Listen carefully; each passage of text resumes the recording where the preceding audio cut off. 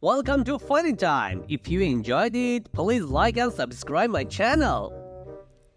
Mrs. Smith came to visit her only daughter, Sophia, for dinner. Sophia was living in a small apartment with her roommate, Mike.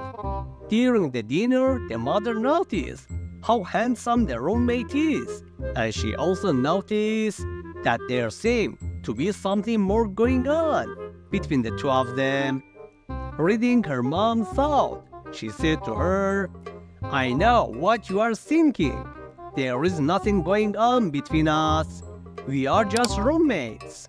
About one week later, Mike was wondering why he cannot find the honey jar anywhere and asked Sophia about it. Ever since your mother came to dinner, I've been unable to find the honey jar. You don't suppose she took it, do you?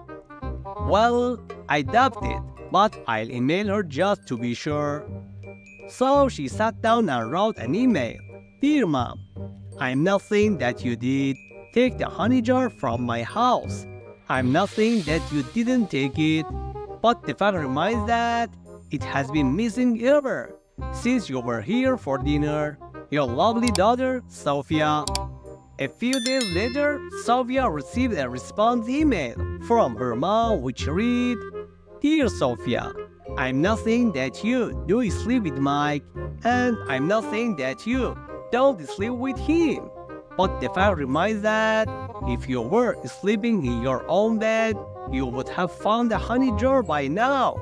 Your lovely mother.